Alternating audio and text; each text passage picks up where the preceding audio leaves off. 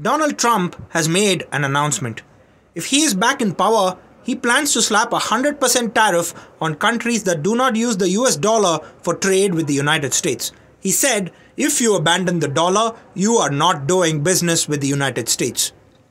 Maintaining the dollar's dominance is a major issue for Trump in the run up to the elections. But what is the central issue for India if this happens? India has opted for a different route in international trading since 2022 the rupee settlement mechanism. This allows countries to trade in Indian rupees, shielding exporters from wild currency swings. It is still in its early stages, but over 22 countries, including Russia, are already on board. The idea is to reduce dependence on the dollar.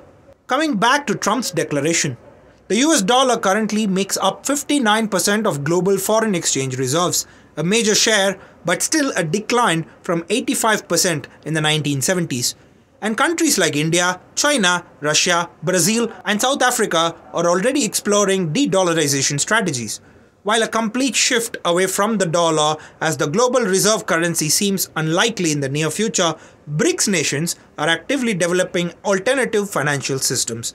Initiatives such as China's UnionPay, India's UPI, and Russia's SPFS are key examples of this trend, with India, for example, pushing to make UPI global. And there is one more important benefit from this oil business.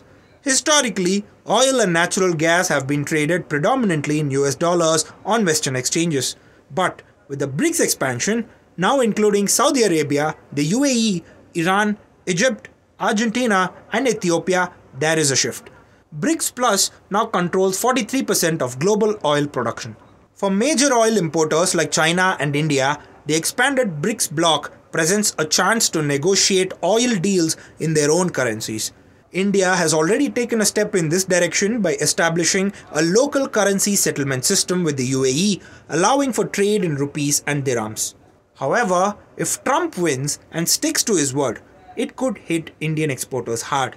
The US is a major export market for India, and sticking with dollar denominated trade might limit their ability to manage exchange rate risks and could hinder efforts to promote the rupee as a global currency. This could also burden exporters and impact their economic activity.